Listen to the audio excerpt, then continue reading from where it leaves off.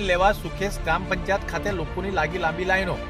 સો vaccine સામે બસોથી ત્રણસો લોકો ઉમટી પડ્યા. વેક્સિન અંગે શરૂઆતમાં ગ્રામ્ય વિસ્તારમાં કેટલીક ગેરમાન્યતાઓને કારણે લોકો વેક્સિન મુકાવવા તૈયાર થતા ન હતા.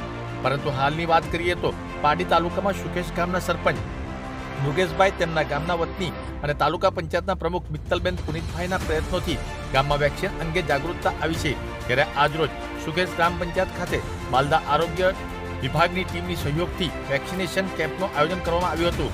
જેમાં ખૂબ મોટી સંખ્યામાં લોકો વેક્સિન લેવા ઉમટી પડ્યા હતા. જ્યારે આજે સો વેક્સિન જ ફાળવવામાં આવી હતી.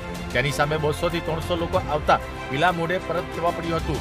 જોકે બીજી તરફ કંપનીમાં કામ કરતા કામદારો માટે પણ ફરજિયાત વેક્સિનેશન હોવાના કારણે પણ લાંબી કતારો લાગી હોવાનું પણ માનવામાં આવી રહ્યું છે.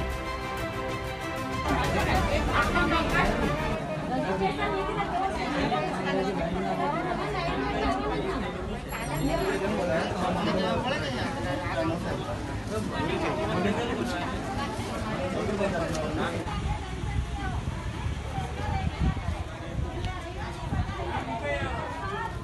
નામ મૃગેશભાઈ દયાભાઈ પટેલ, સુકેશ સરપંચ, સહ ઇન્ચાર્જ.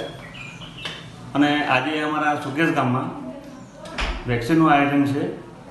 એ સો જણની છે વેક્સિન અને લોકોને સમજને બહાર હતું કે વેક્સિન મૂકવાથી ફાયદો શું છે અને ફાયદો?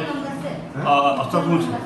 હવે લોકોને જાગૃત આવી એટલે આજે સોના બદલે બસો ત્રણસોની સંખ્યામાં અહીંયા આપણા સુગત પંચાયત પર ભીડ છે.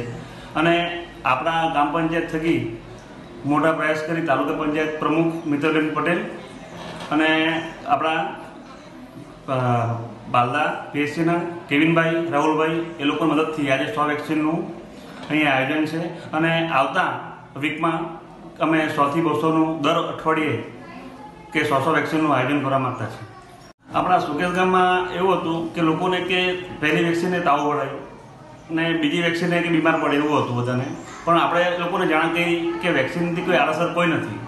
અને લોકોને ઘરે ઘરે જઈને વાત કરી કે કંઈ નથી એમાં લોકોને સાઈડ ઇફેક્ટનું કોઈ નથી એમાં અને જણાવ્યું કે આનાથી તમને જે આપણે આધાર લિંક છે હમણાં આપણો હાલમાં એક ટાઈપ આની આપણી સટ્ટી કે ગામમાંથી બહાર, ગામ છોડીને બહાર જાઓ કે જિલ્લામાં બહાર જાઓ, ગુજરાતથી બહાર જાઓ, તો આનું જરૂર પડે છે.